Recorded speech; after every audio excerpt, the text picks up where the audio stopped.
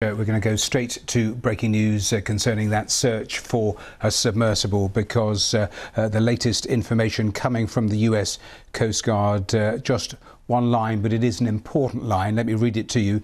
Uh, they are reported as saying a debris field was discovered within the search area by one of the rovers near the Titanic. Experts within the Unified Command are evaluating the information. So uh, a significant line, uh, clearly a holding position as they uh, look to uh, find out what exactly this uh, debris is. But uh, that is a line they've put out, so it is clearly significant that the US Coast Guards say a debris field has been discovered within the search area by a rover near the Titanic. Experts within the command are evaluating the information. Let me just put some of the latest pictures uh, on the screen in terms of the search area and the sort of hardware that uh, uh, currently we are seeing because it is a huge search that we've been seeing over the last uh, little while and uh, um, we've seen more and more equipment being sent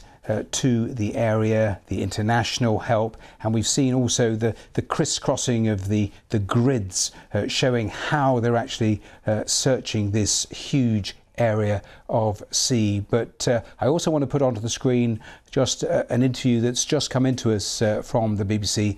One of uh, uh, the five people on board, we know that uh, French diving expert, well, his daughter has been speaking to reporters in the last little while. So let me put that onto the screen. So he has lots of experience with submarine. He knows how to react if there is a problem and so I'm very confident about it that he can um,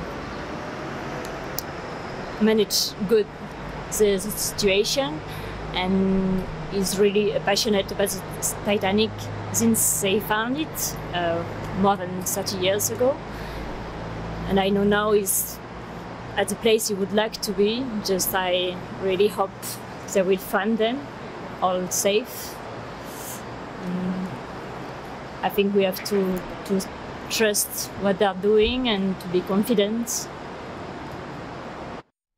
Well, uh, just one of the families, as I'm sure is the case for all of the families, just clinging on to the hope, as uh, we heard earlier from the US Coast Guard, saying that uh, still they were searching for the crew, assuming they were alive. Of course, uh, all those calculations being made about uh, the hours of oxygen and the hopes that uh, that could be elongated. But uh, just that latest line coming in, it's worth repeating because it is the first significant development in terms of information through the course of today. Normally, we get a press conference at around six o'clock uh, in Boston.